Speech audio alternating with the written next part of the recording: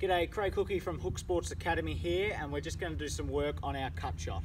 Alright, so we're going to focus on two main components of our cut shot, the back and across movement and hitting the ball under our eyes.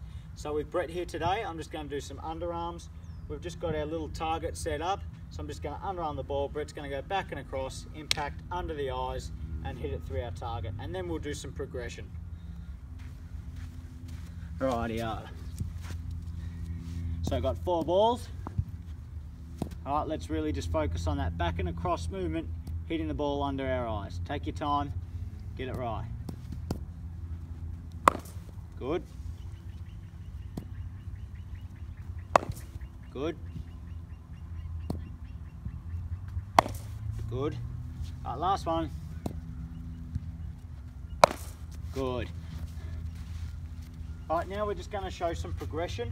Right, so he's hitting those balls to point or just in front of point. So single, or if he does get it past point, possible boundary.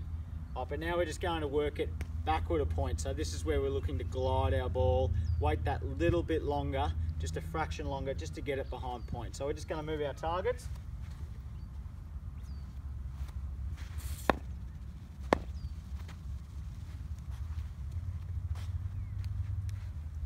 So we've moved our targets again. We're just going to do another set of four.